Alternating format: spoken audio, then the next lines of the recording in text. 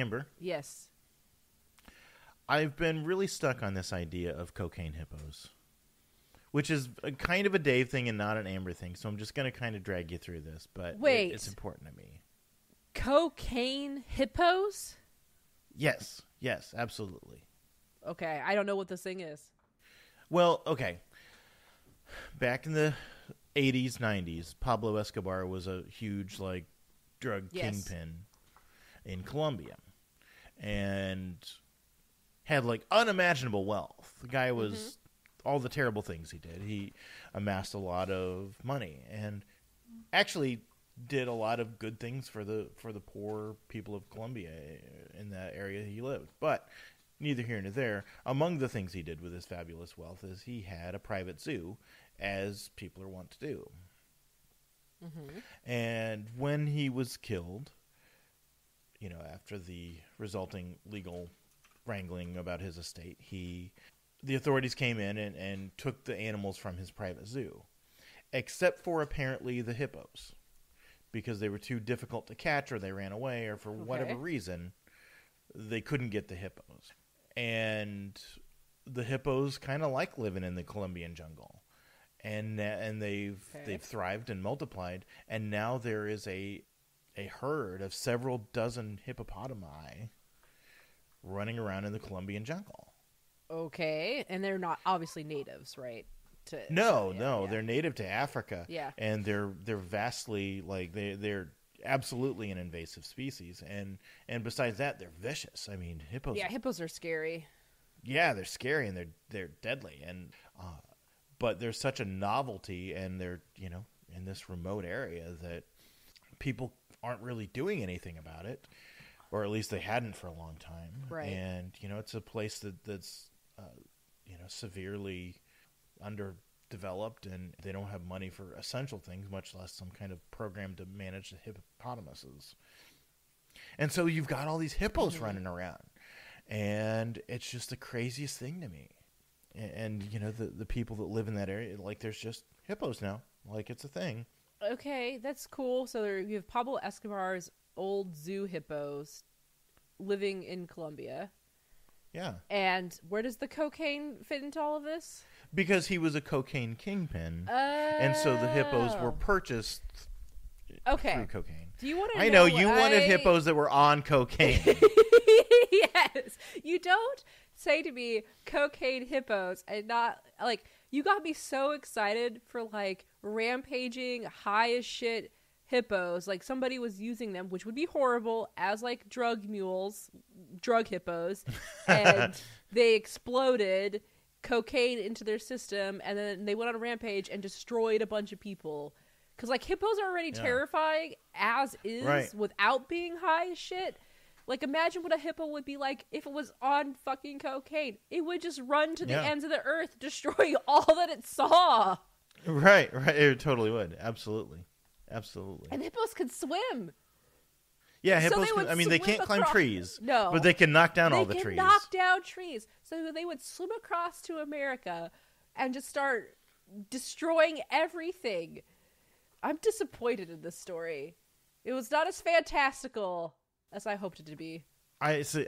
I told you it wasn't an Amber thing. It was it was more of a Dave thing. But I like the idea. I like where you're taking it. okay i can understand and appreciate the baseline funniness of like why these hippos exist because you had somebody who just had money and wanted a zoo and brought animals into wherever and then nobody knows how to deal with him Right. after he's dead and it's just like well we got hippos now Yeah.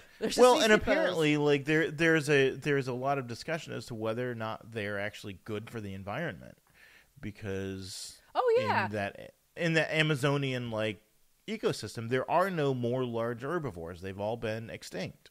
And so they're doing those hippos are doing work and like maintaining riverbanks and like, you know, yeah uh, they're filling an ecological niche that probably was filled several thousand years ago by other animals, but uh, but also like they're not native and th- you know the ecosystem has kind of evolved without them. So there there's a whole discussion about it, but apparently there's some nonprofit out there who's trying to castrate the hippos, which sounds like a a really Ugh. terrible job. Like, could you imagine if it's like, hey, so you work for us, the zoo, uh, a naturalist. You're, you Yeah. work for Parks and Rec in Colombia. I, I would like it to be like a like a temp agency. Like Oh, you don't know where you're gonna go, and like, hey, uh, show show up to the to such and such nonprofit today. Okay, man, I'm uh, I'm gonna work hard. I'm gonna prove myself. It's gonna be great. Your first day on the job. So here's a giant scalpel and a dart gun. Right. You're gonna the, go. the will be completely ineffective. Yeah, the dart gun's just to make you feel better. Yeah. So that Because the hippo's all coked up. He he's immune to like tranquilizers at this point. if actually the cocaine mixture with the trank is uppers and downers at the same time, he becomes even Right. more Speedball, yeah. It's Yeah. ridiculous. So But no. good luck. my question from all of this then becomes how jobs become like is there just like a situation where like a bunch of veterinarians have these like mini guilds where it's like when it's time to call to action we take care of the weird uh natural defense like natural stuff that happens in the world. Like what kind of group is that? Also that would make for a really good role-playing game premise where like That would actually. where you have to get you're on call. You have your regular job right? Like you are literally a vet on in your day to day you work for zoos or you Right. have your own like local establishments and stuff but then there is a red phone on your desk that uh when rings sounds like a howler monkey screaming and you pick it up and it's some man in the shadows or some figure in the shadows telling you all right uh chad Durick. i don't know what to call this person doctor Chadwick, huh Doctor Doctor Chadwick. Yes. yes it's time we have to assemble the castration team Right. No. we got wild hippos yes go ahead Hopped up on cocaine. No one else can do the job, Doctor Chadwick. And then he like goes oh it's time and he pulls the sleeves off of his veterinary coat yeah, and yeah, it's yeah. a Off his lab coat. Yeah. Yeah. and he's like flexes and then you he whips open his coat and he checks his side he's got like a bunch of like needles and tools and a gun But like crazy, like steampunk, like devices in there, and yeah, yeah, yeah. It's kind of like Charlie's Yeah, Angels and, he, Men in like- Black, but also like hippopotamus. Yeah. Yeah so i like to imagine now this team exists in the world um, Mhm. every vet has a uh, secret phone in their office where at any given point in time it's like the the natural animal defense team or something Yeah, yeah. Like The when there's crazy animal NADT. emergencies. Right. mostly has to do with castration their main call Well, I'd like to think like when like you know Planet of the Apes happens, they get they get called too. Like, hey, Oh, yeah, monkeys definitely. have learned how to like talk and wear clothes and like shoot guns at us. Can can you guys do something about that? Doctor Chadwick is on the case. Yeah, and they get like do you think it's um nope, I'm not gonna get making it too real. I'm not gonna talk about funding. Fund Yeah, they just have no. limited funds. Right. It's it's a secret secret like black ops kind of funding. Yep. Mm-hmm. God, I would mm-hmm. play that mm-hmm. game. That would be a fun game. Can you imagine us playing it with Chris? Yeah. Oh, yeah. It's a good premise, and, and and it's probably a good premise for like some like short story fiction to post on the internet too. Yeah. I was to say there was a game. I know you play some games, but not you're not a gamer, even though you claim to I, I to a be a professional secret gamer. pro Yes. gamer. Yeah. Castle fights. Okay, all right. Right. So, because you do pro gaming, you may not do casual gaming, which is what I do. Oh. and there was a game that came out for PS3 or PS4 called Tokyo Jungle, Mm, um, where basically there are no humans in Tokyo, and you get to play as animals, and you have objectives to meet as you run the streets, and you get to play as varying types of packs. So like there's a Hmm. corgi pack, there's ostrich pack, there's like cheetah packs, goat packs, and you're just going through and the game the whole purpose of the game is like to get to certain areas and like you have certain objectives and some of it's like mating and growing your pack and like you don't want to get eaten. It's the Tokyo jungle. That's what I would I think hippos was part of it. And so when you were telling me about these cocaine hippos, I just immediately thought of Tokyo Jungle. Again, I'm a casual gamer. You probably haven't heard of it as a pro gamer. Right, Um, right. No, I haven't. But yeah, I imagine like the you know the the the monkeys are like, hey, the hippos are out there. We got to go take care of them. Yep. And all the monkeys like descend from the trees, and the hippos are just come, come, come, come. No more monkeys. Exactly. It's so like to play as a hippo when you have chihuahuas or something. It's like Right. Yeah, it's like it's like zero level difficulty. Yep. Ah, man. I really wish that was a true cocaine up hippo. Really let me down. I mean, you could probably. That sounds like a very supervillain kind of goal, but you could do it. Oh yeah. They're wild. They're wild hippos in Colombia. Yes. Get a bunch of cocaine. Go there. Uh, I'm looking up know, cocaine hippos right now. stuff like a chicken carcass with cocaine, with like ten thousand dollars worth of cocaine, and feed it to the hippo. Wow, they literally just do call them cocaine hippos, huh? Yeah, isn't that crazy? I mean, it's a good name. Yeah. I mean, you couldn't have possibly named them anything better. no. Pablo Escobar's hippos threatening Colombian residents. Give me all your That's right. drugs. they got a knife. Well, I mean, t- t- to be fair, like if you go out to take the dog on a walk today and there's a hippo like stomping around, you're gonna like, holy shit, I gotta go inside. Yeah, uh, your house isn't going to protect you if that hippo wants your drugs or your dog Right. or your money or your wife. These walls mean Sorry, nothing. Amber, the hippo loves me more. The hippo just takes the wife over over the shoulder, trots off into the jungle. Go, go, Angela. I don't care for you anymore. If you want to be with a hippo, I can't stop you. Cut to me getting onto my computer, typing up, I've been hurt badly by my wives. if I'm looking for a wood who doesn't love hippos, please appreciate the fact that I am a human male and will give you love like a human male should. But if you love hippos, please do not come to me because I've been hurt very bad by women who love hippos. That's my dating Yes. profile. Perfect. That's not as good as the random generated one. Shut up. That's beautiful. The random generator could be this charming.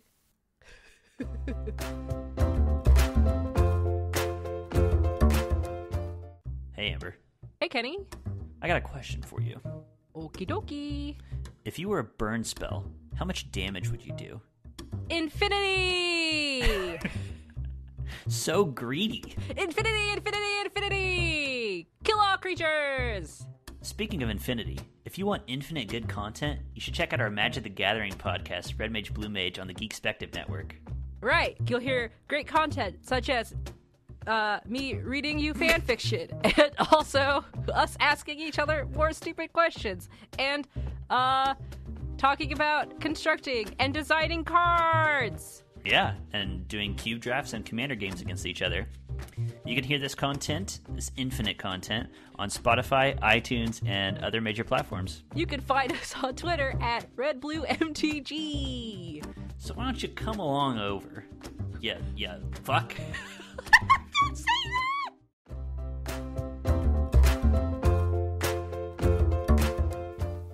So, Amber, did you know that we do have a Pellets of Wisdom this week? Oh, shit. Did a hippo drop it off for us?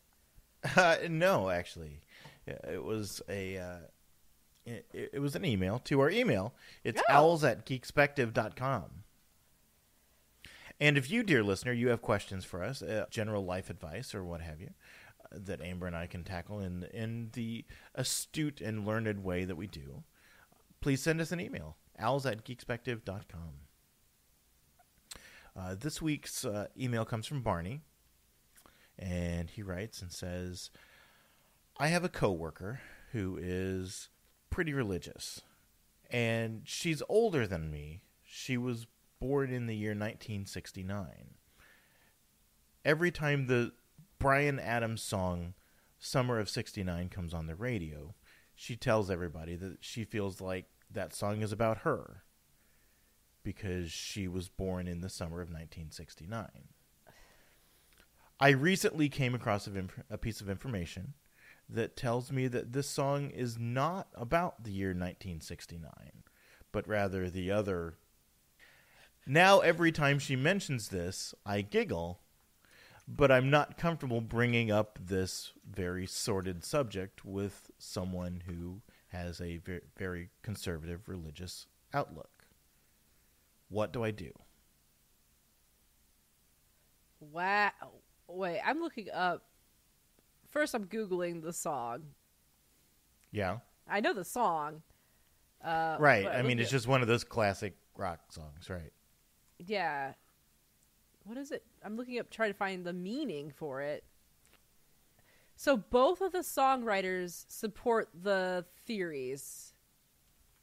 So it could be both. Okay, so it could be it could mean the same thing. It's like it happened in the summer of 69 and also they were doing 69 in the summer of 69.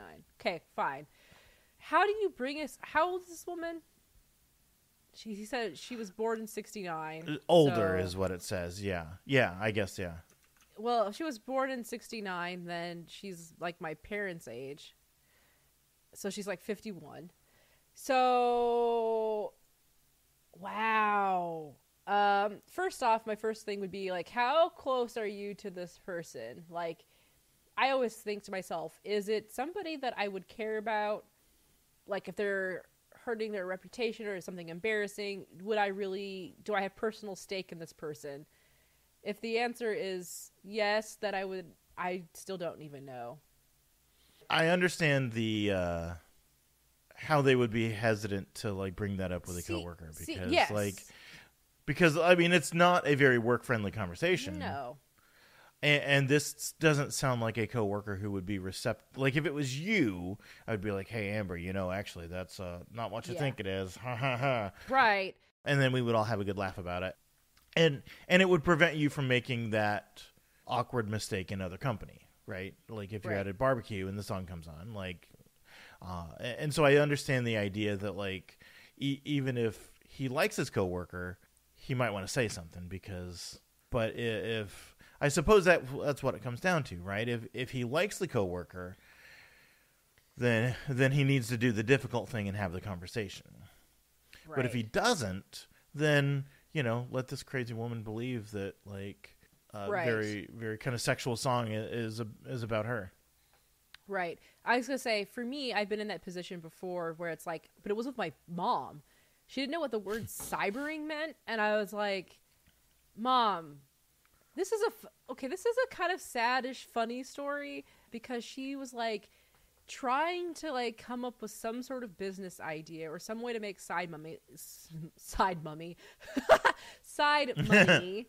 and she had a friend who could like write poetry uh did like those like first letter and then made like were like things and like Oh, her yeah. and my Yeah, yeah. stepdad met online playing cribbage or whatever and they had she had made an example poem using the word cybering or cyber or something Uh-huh. and I was like, "Mom, cybering is like a synonym. It's like like when you hear that, it's synonymous with like sexting or like role play sex stuff. Like you can't." And I and I was like, I had to explain that to my mom, which was like sad because she was super excited about this cool poem she got, and like Right. also embarrassing because I'm like, "Mom." Weird. yeah, this isn't playing cribbage with with a guy. Yeah. Yeah, yeah. Like now I've got this image in my head. Ah! So yeah, it's like okay, I did that with my mom, but your Janice is not your mom, Barney. Um, she's your coworker, Right. and yeah, it would be very awkward. So again, I would be like, how much do I care about Janice? Is it funny to me enough that I just let her keep going about her merry way because I get some sort of entertainment out of it and F it? Somebody else can do it. Maybe her. Well, I mean, okay, to be fair, something. But then third, if you're like, really, you really just want to tell yeah, I mean, I can see that sh- it is funny.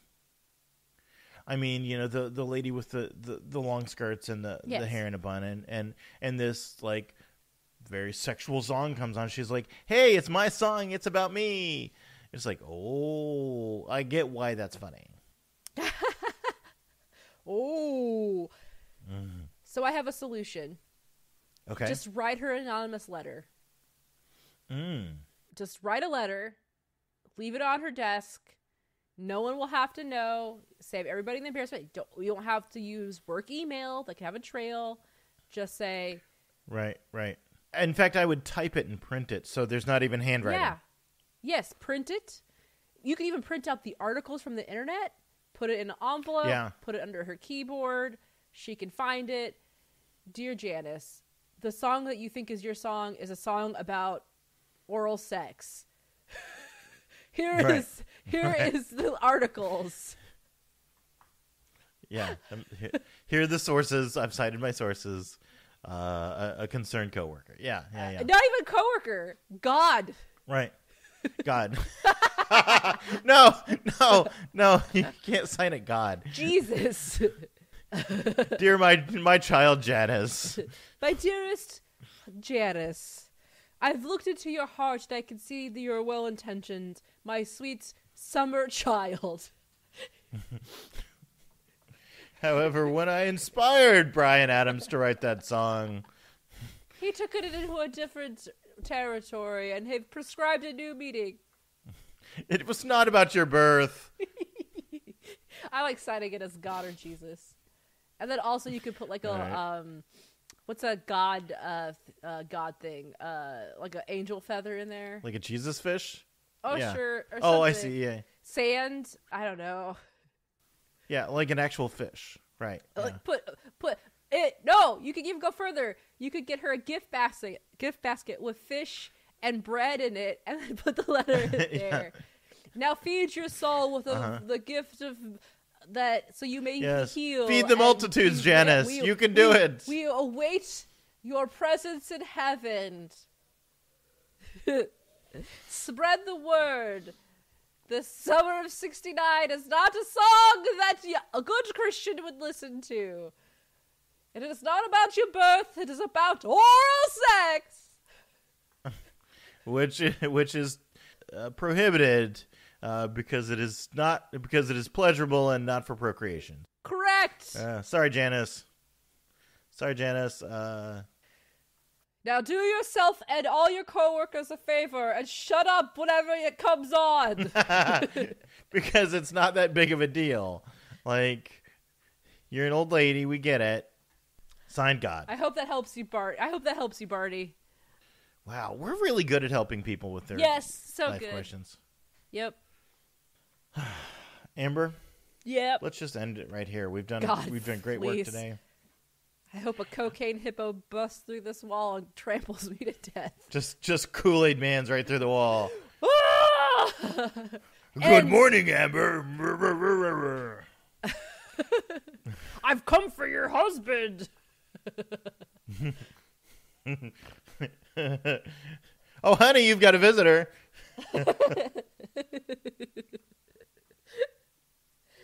Okay. Yep. I'm done. Let's end it. If wait, we already did the email thing, right? Yes. I'm at Rocket Orca on Twitter. Follow me, where I'm gonna now write some cocaine hippo fanfic and post it on there. I you can find me on Twitter at Red Knees Dave. You know, it, it, I don't. I'm not active on there. It's just a gamer handle. Uh, but you can check out all my sweet content. Bye, Amber. Bye, Dave. See you in Colombia. Yeah, in Colombia in two weeks. Next next Owls is going to be on location. Yes, we're gonna interview a hippo.